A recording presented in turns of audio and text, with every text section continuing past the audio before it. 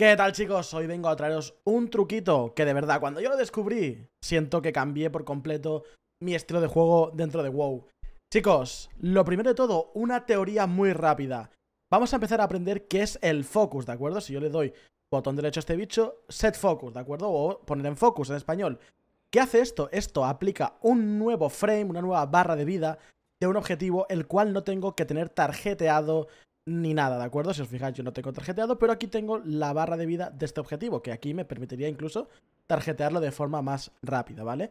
Una vez tenemos esto claro, vamos a intentar aprender a cómo usar esto bien, porque claro, el focus nos permite crear una infinidad de macros para interactuar con el focus. O sea, eso quiere decir que yo puedo tener tarjeteado a un bicho y interactuar con el focus sin tener que tarjetearlo ni nada, ¿de acuerdo? Esto tiene muchas ventajas, ahora os lo explicaré, pero lo primero que tenemos que tener claro es cómo aplicar este focus, porque obviamente en mitad de un combate de PvP de PV en Míticas Plus, de Raid o lo que sea, no voy a pararme a poner botón derecho, set focus para tener este focus, ¿de acuerdo? Entonces la, primer, la primera macro y el primer truquito que os traigo es aplicar el focus con mouse over, ¿de acuerdo? Esta macro que tengo yo aquí puesta en el Shift 1, os la dejaré en la descripción tanto en español como en inglés, simplemente lo que consigue es que si yo pongo el ratón encima de la barra de vida de un enemigo o encima de su cuerpo, no importa, y pulso ese botón, automáticamente acabo de poner en focus a ese objetivo, ¿de acuerdo?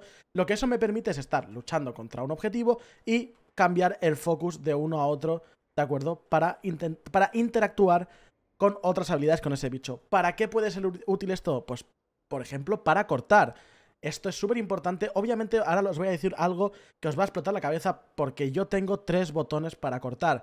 Entiendo que normalmente la gente usa solo un solo corte, o sea, un solo botón para cortar, pero claro, si yo estoy pegando a este bicho ahora mismo y quiero cortar aquí, ¿cuál es la, solución que tenéis vosotros? Tarjetar este bicho y cortar. Estamos perdiendo muchísimo tiempo, ¿de acuerdo? Entonces, lo que yo hago es simplemente lo pongo en focus y yo tengo aquí un botón para cortar que cuando lo pulso, que es este de aquí, corto directamente al focus, ¿de acuerdo? Si acabáis de ver, estoy pegando a este bicho y he cortado a este bicho, ¿de acuerdo? Esta macro también de corta al focus os la dejaré en la descripción para que podáis tenerla, ¿de acuerdo? ¿Qué más funciones puede tener? Pues también podéis stunear, eh, meterle incluso eh, una habilidad que queráis meter a otro objetivo. Todos esos son macros que podéis cambiar de la que yo os voy a dejar que, como plantilla, que es la del corte, pero podéis aplicarle otras cosas, ¿de acuerdo? Es súper importante, chicos.